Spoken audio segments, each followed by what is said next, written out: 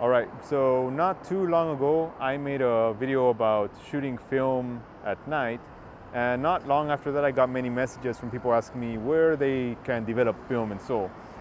Now, today I'm gonna show you this place called Filmlog, but it's not by any means the only place to develop film in Seoul. It just happens to be the one closest to my place. And uh, I happen to like them. So, yeah,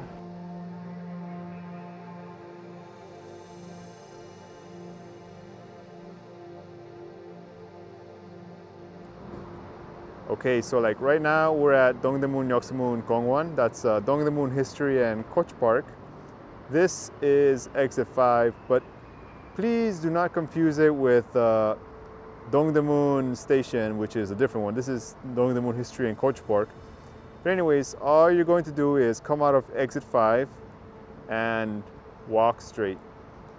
I want to talk to you guys about developing film in Seoul because I want to separate into like two categories. Basically, there's a consumer, uh, this consumer grade film uh, development, which you can find like pretty much any corner, like uh, every station, every other block. You're gonna find this like mom and pop shops where you can develop your film for like five bucks. You know, it's very cheap, uh, easy to do, and uh, even for me, that I always, I pretty much always go to them because it's just uh, so easy and ubiquitous, you know. But on the other hand, you have the second tier, which are like the more professional grade film development studios, you know. And this is one of them. The two others that I like are Photomaru and Photopia. They're probably the ones that most foreigners are very familiar with. So like if you want to pull your film or you want to buy films or cameras or all that kind of stuff, prints, you would probably go to Photomaru or Photopia. They're like Chungmuro. But you don't really have to. I mean, you can just go to a mom and pop ones and it's fine, you know. Unless you have some kind of specialized film or you want them to like pull your film, then you go to Photomaru or Photopia. And then there's this place which is called uh, Filmlog now, I actually came across this place by uh, watching one of Cari Cakes' videos. And uh, I was going to go to Fotomaru and Photopia because I had the Cinestill 800 film that's like very specialized.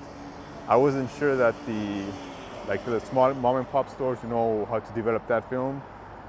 But this place is actually much closer than uh, the other two. So I thought, why not? So uh, we're here, more or less. Once you see the Hotel the Designers number two, all you have to do is turn to the right and you're basically there.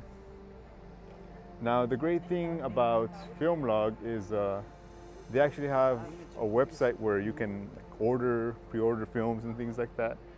And you don't even have to come back to the place uh, you can just uh, download your files from the server, which is what I did.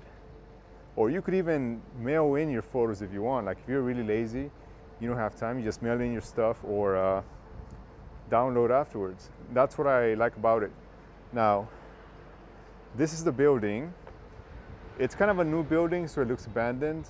Uh, don't be scared. But they're on the top floor.